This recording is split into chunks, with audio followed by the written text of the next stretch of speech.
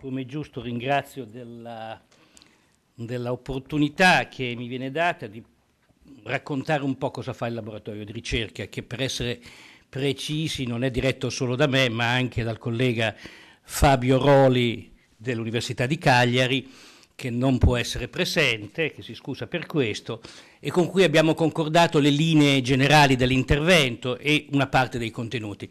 I commenti e le valutazioni che faccio invece sono solo di mia esclusiva responsabilità. Eh, prima di, di, di cominciare, eh, lasciatemi fare un piccolo amarcord che eh, può, essere, può, essere, utile per capire perché eh, mh, mi è piaciuto molto oh, cercare di occuparmi eh, del laboratorio di ricerca. E questo Marcord eh, mi riallaccio alle cose che diceva il professor Maciocco. Eh, è avvenuto quando il primo anno eh, abbiamo avuto questi studenti eh, che eh, si erano iscritti, avevano superato il test e che ci hanno detto ahimè non possiamo frequentare. E allora all'interno della facoltà di architettura abbiamo iniziato con il professor Maciocco, con il professor Tagliagambe, con il collega Ivan Blecic, abbiamo cominciato a ragionare sul che cosa fare. E la prima cosa che abbiamo fatto è stata quella di, oltre a, a metterci eh, a livello di progettazione nel, in quella che poi è diventato il progetto Unitel Unisofia, è stato quello di eh, lavorare sui nostri strumenti di supporto alla didattica. Giustissima l'osservazione che veniva fatta. Eh, noi abbiamo sempre pensato che non ci fosse, che non ci potesse essere una separazione tra, e poi ci tornerò, la didattica ordinaria e quella straordinaria, che in realtà fosse un continuum, che la didattica, specialmente per quanto ci riguarda, è chiaro che le cose sono diverse in altri corsi di laurea, la didattica dell'architettura dovesse mettere insieme la parte progettuale in presenza con quella a distanza e che non molto diversa era la situazione degli studenti normali, tra virgolette, degli studenti frequentanti, e quindi l'idea era di costruire un'unica comunità di apprendimento. Ci tornerò su questo. Abbiamo pensato, quando oh, è stato ideato il laboratorio di ricerca, che eh, diciamo, vedremo a due mh, mm, settori, un settore basato a Cagliari e un settore eh, basato ad Alghero, eh, a Sassari. Eh, l'idea era che il laboratorio di ricerca fosse un ambiente di sperimentazione e sviluppo di soluzioni e prototipe a partire dalle esigenze concrete dei produttori, cioè il riferimento era coloro i quali erogano il servizio in primo luogo, quindi in primo luogo per sussidiarietà i corsi di laurea e poi via via l'insieme delle altre entità in una dimensione strategica e di autosufficienza di Unitel. L'idea è che Unitel ci auguriamo tutti che prosegua in questo, in questo processo, però sia capace di gestire autonomamente sia la produzione dei contenuti, sia la costruzione della piattaforma, sia la loro gestione. E quindi fosse anche un supporto di progetto alle attività didattiche. E non doveva essere un servizio di pronto intervento o di supplenza per la gestione quotidiana o per lo sviluppo di applicazioni di routine o di ingegnerizzazione dei prodotti. Cioè l'idea era che fosse, anzi che sia, un vero laboratorio di ricerca. Bene, nel eh, confronto all'interno de, col, col, collega Roli, ma anche con eh, Uni, Unitel e Unisofia, abbiamo mh, mm, sviluppato eh, quattro filoni di ricerca. Uno, due di questi sono presidiati dai colleghi di Cagliari prevalentemente, anche se lo sviluppo del ragionamento è stato fatto insieme, poi ci tornerò, eh, sono eh, interfacce uomo-macchina avanzate, che è sviluppata dalla sede di Cagliari, tecnologie multimediali, sempre dalla sede di Cagliari, giochi e strumenti interattivi su cui mi dilungherò un po' proprio perché essendo nella sezione orientamento e riallineamento questa è la questione diciamo più vicina alla sezione stessa, e spazi di, di, di lavoro collaborativo. L'altra cosa è stata, anche qui dirò qualcosa, il supporto scientifico-tecnologico, come dicevo prima, non alla soluzione dei problemi quotidiani, ma come supporto all'analisi delle problematiche relative all'architettura, alla progettazione hardware e software del sistema Unisofia. E dirò che cosa abbiamo fatto, che cosa stiamo facendo in ciascuno di queste cose. Ma fatemi prima spiegare come quelle quattro cose stanno in un quadro concettuale. Il quadro concettuale è questo. C'è un problema di gestire le interazioni. Le interazioni sono, voi, voi capite, multiple. Sono le interazioni tra gli uomini e gli strumenti, tra gli artefatti e gli esseri umani. Sono le interazioni tra gli studenti, i tutores e i docenti, le interazioni tra i docenti, l'interazione tra gli studenti. Quindi il problema era quali strumenti possono essere utilizzati per gestire le interazioni. Seconda cosa, per gestire i contenuti. È chiaro, lo vedremo, non basta erogare dei contenuti, bisogna avere anche dei sistemi man mano che il eh, eh, nostro eh, mondo, il nostro ambiente cresce, questi sistemi devono essere sempre più sofisticati ed efficaci per andare a rintracciare i contenuti, per poterli mettere insieme, per potersi costruire dei percorsi. La terza cosa, e qui condivido le cose che sono state dette da molti prima di me, costruire comunità di apprendimento. Il processo di apprendimento non è un processo individuale, o meglio, non è in generale un processo individuale, e comunque questo processo di apprendimento non è un processo individuale, ma ha bisogno della costruzione di comunità, bisogno tanto più forte quanto più la presenza fisica è minore o comunque non preponderante, e l'altro è di rendere naturale le interfacce, fare le cose come le facciamo, come le dobbiamo fare, come siamo abituati a farle. Questi quattro grandi concetti sono all'origine dei temi che abbiamo sviluppato, che io in generale tratterò in modo abbastanza rapido perché? Perché trovate i rapporti di ricerca disponibili eh, sul sito, rapporti di ricerca che sono rapporti di ricerca, lo dirò, in progress, iniziali, ma che hanno già individuato alcuni obiettivi principali. Il primo, lo vedete in azzurro, azzurro Cagliari, verde Alghero, è solo una scelta cromatica, non so se adeguata, facilitare l'interazione tra l'uomo e la macchina nella formazione a distanza anche con riferimenti ad utenti con disabilità aumentare la sicurezza dei sistemi informatici e la loro personalizzazione rispetto alle necessità dell'utente. Quindi questo è l'obiettivo che ci proponiamo di raggiungere alla fine del processo di ricerca. Che cosa si sta facendo e che cosa è stato fatto? La prima eh, attività è stata quella di utilizzare le cosiddette tecnologie biometriche, realizzando una stazione che è già operativa anche se prototipalmente, per l'autenticazione biometrica dell'identità personale basata sul riconoscimento del volto delle impronte digitali. Voi capite quanto importante questo è in termini di gestione dei corsi, sia per in qualche modo poter identificare la, le attività degli studenti, sia in prospettiva per le valutazioni, sia per le eh, possibilità di interazione.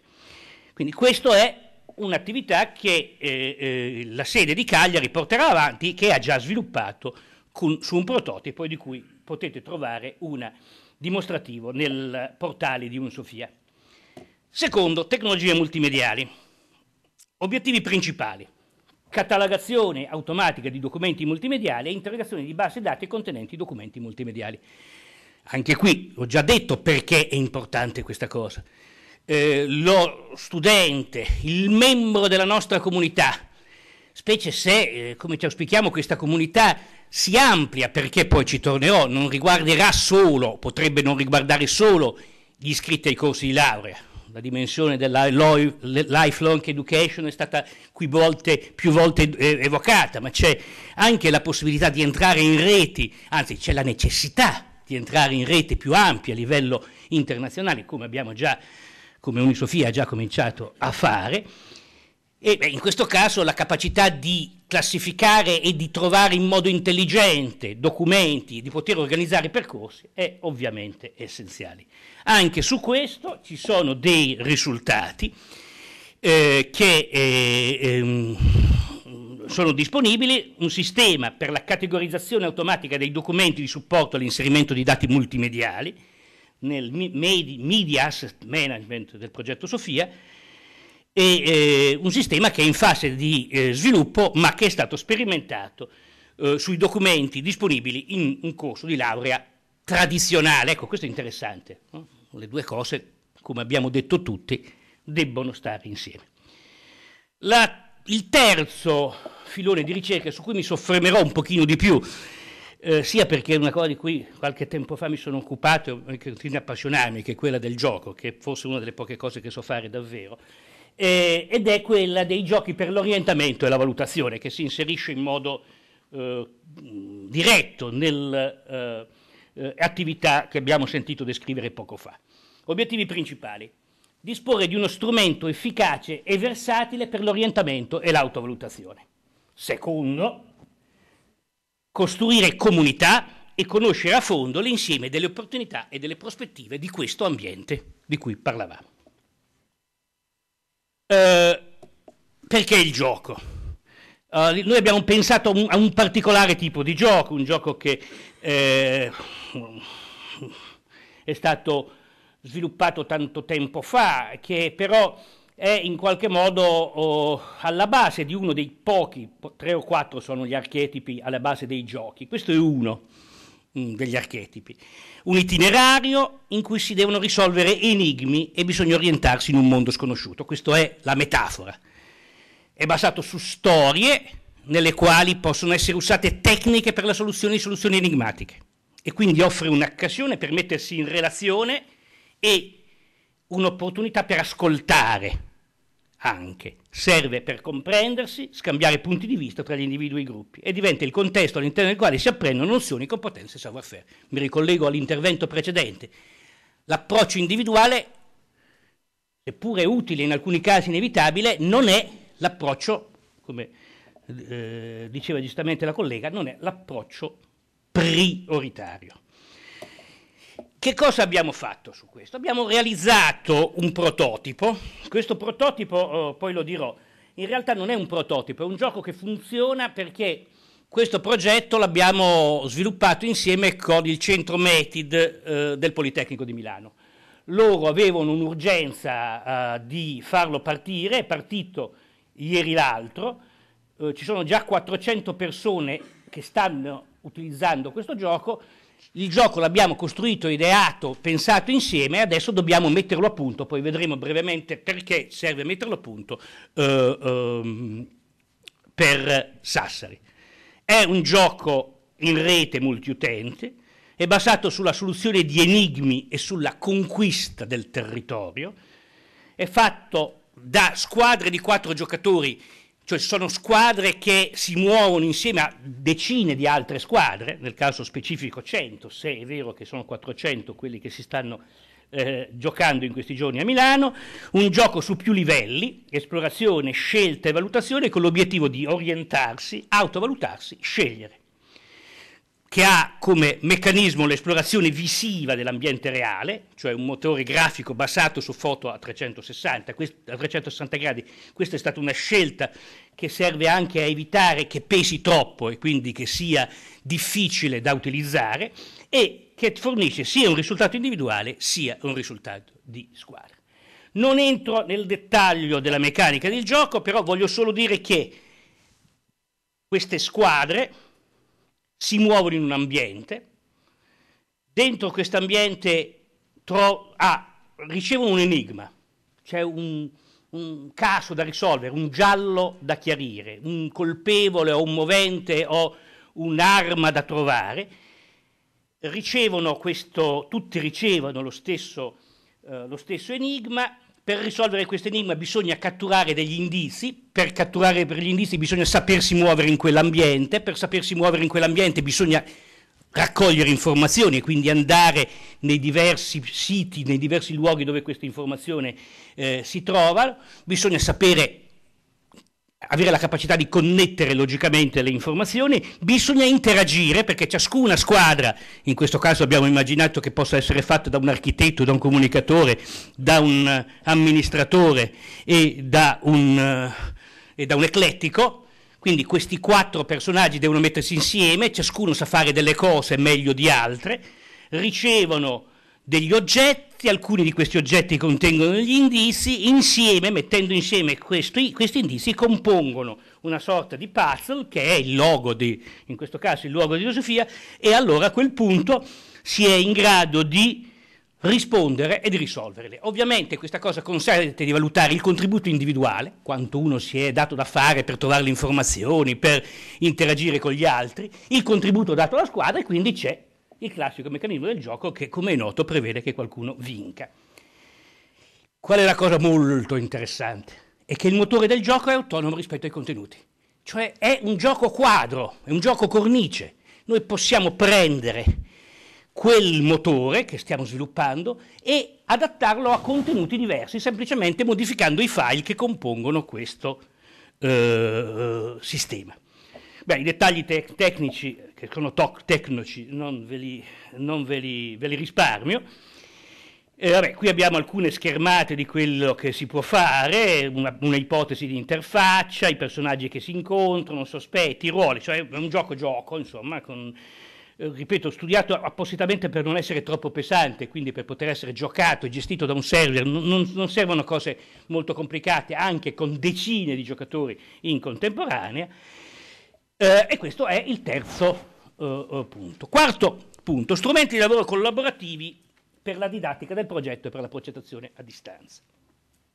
Obiettivi principali sono sperimentare nei reali contesti didattici un'ampia gamma di apparati e strumenti di ingresso e uscita per verificare la loro efficacia ed efficienza in termini comunicativi, di rappresentazione e di collaborazione verificare il grado di versatilità e di integrabilità dei sistemi indagati con le piattaforme di learning in particolare con Moodle, perché il problema è il saggio bricolage, il bricolage fatto con un progetto, che è una cosa molto interessante, e progettare e sperimentare un prototipo dimostratore di una soluzione integrata, cioè che integri l'insieme di questi strumenti.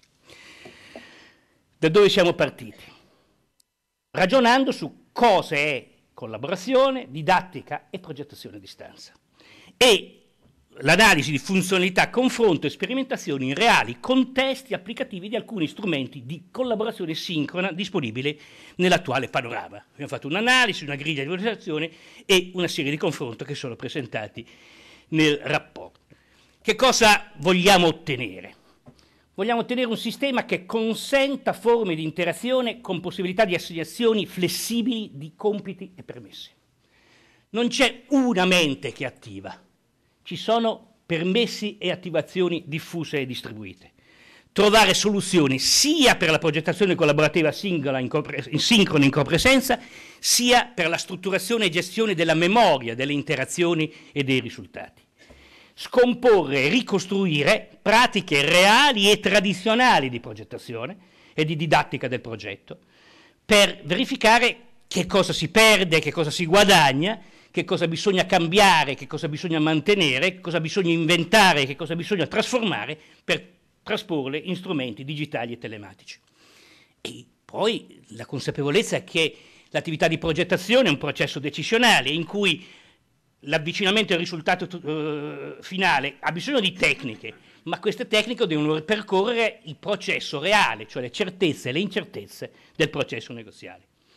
O adottare un approccio non esclusivamente orientato allo schermo, anche questo si collega con quello che dicevamo, ma la possibilità di utilizzare strumenti come si, si usano gli strumenti, non, do, non dovendo essere legato allo schermo, quindi con eh, strumenti e supporti di input e di output. Supporto scientifico e tecnologico. Non credo di avere il tempo di dire qualcosa su questo, però diciamo che eh, gli strumenti di community che, eh, e di comunicazione che vi ha presentato il collega Maciocco sono in qualche modo anche il frutto di questo tipo di rapporto, con questa indicazione forte che davo all'inizio, che questo è un classico esempio, la produzione di questi strumenti è un classico esempio di un processo che deve avere due caratteristiche. Essere fortemente bottom up nella ideazione delle, dei singoli strumenti, che vanno costruiti a partire dalle esigenze, misurati e ricostruiti a partire da quelle esigenze, adattati a quelle esigenze, e deve avere però una grande capacità di progettazione degli obiettivi generali e dei risultati che si vogliono ottenere. Quindi alla vecchia contrapposizione c'è un approccio bottom-up nella costruzione di strumenti che devono essere flessibili, aperti. La scelta dell'open source, che secondo noi deve essere una scelta strategica non negoziabile nel medio periodo, non negoziabile nel medio periodo, non è solo perché non costa niente, ma perché è l'unica che permette di realizzare questi risultati. Le altre non lo permettono, anche se apparentemente possono essere un pochino meglio e spesso non sono meglio.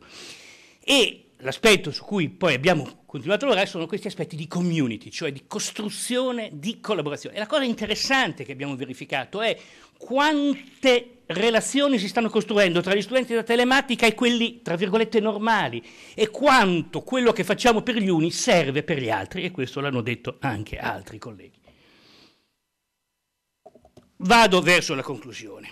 Una scelta che noi abbiamo fatto è stata quella di non dotarci di infrastrutture abbiamo utilizzato quelle che avevamo per i laboratori, i computer di ciascuno di noi, le, le, connessioni ADSL che ciascuno di noi abbiamo. Abbiamo messo tutte le mele nel piatto, cioè le risorse interamente per borse di studio, per attività di ricerca, assegni di ricerca, consulenze ad hoc. Certo, questo ci penalizza sotto alcuni punti di vista, dobbiamo rincorrere le cose, ma in qualche modo ci avvicina alle situazioni reali. Due ultime considerazioni. Il laboratorio di ricerca ho intitolato Un divenire in essere. Che cosa abbiamo fatto e che cosa vogliamo fare? Abbiamo fatto questo, abbiamo prodotto nei tempi previsti i primi rapporti di ricerca su ognuno dei temi e le diverse sperimentazioni e la produzione di prototipi sono in corso. Abbiamo fatto proficui rapporti di collaborazione con il Centro Metid del Politecnico di Milano, con cui abbiamo eh, ideato e realizzato il gioco, già in produzione, come vi dicevo, nella versione del Politecnico di Milano, del disegno del gioco dobbiamo dare i meriti che ha al collega Alberto Coloni, che eh, doveva, credo doveva essere qua domani, ma mi pare di cap- aver capito che forse non viene, non so non, se ci sono informazioni su questo. Chi è che ha lavorato a questo progetto? Fabio Roli a Cagliari con lui Luca Didaci o Didaci, mi scuso se pronuncio male, Gianluca Marcialis e Eloisa Vargio. Ad Alghero chi ha fatto le cose davvero è stato il mio amico e collega Ivan Blecic, che ha guidato questo processo. Io ho fatto come sempre solo da vigile urbano, ma con me e lui hanno collaborato Roberta Cocco, Marco Pisano, Anna Franca Sibirio e Stefano Scotti. Credo di avere... Che cosa do... dobbiamo dire per il futuro? Anche se finissimo, quando è previsto che succeda, cioè se chiudessimo nei due anni che ci sono stati dati, saremmo contenti di quello che stiamo facendo e pensiamo che sarà utile quello che produrremo e che il rapporto qualità-prezzo sarà eccellente. Ma, e qui mi riallaccio a quello che hanno detto gli altri colleghi, ci possono essere le condizioni perché il laboratorio sopravviva, si consolidi ed estenda la sua missione, divenendo una struttura stabile di supporto all'e-learning per Unitel, per le università. Vi annoio, lo ripeto ancora una volta, L'idea tra intreccio tra studenti normali e telematici e l'approccio blended per tutti sono costitutivi del nostro progetto, per le scuole, per le attività di formazione, per l'educazione permanente. Insomma, non ci auguriamo di avere cent'anni di vita, ma qualche anno in più sicuramente sì. Grazie.